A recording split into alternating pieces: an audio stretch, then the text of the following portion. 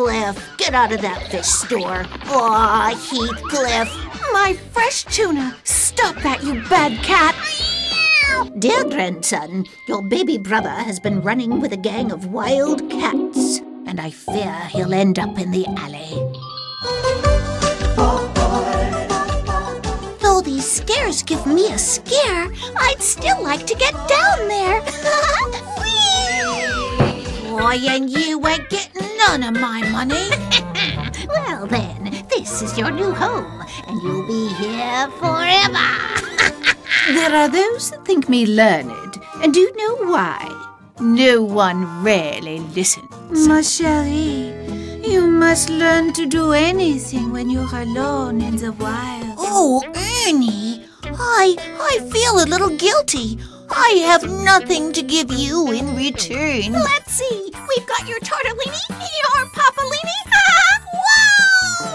Dear Mom and Dad, well, school's out, and I got a job at the Wiener Lake Logging Camp. I received such a warm welcome from the guys. Excuse me, I'd like to buy one of those living bras that you advertise on the television. I assure you, madam, not only is it alive, but it is well educated.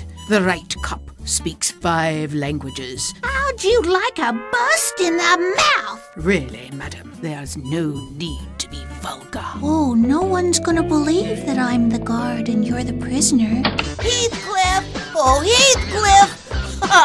you're the best. You should realize.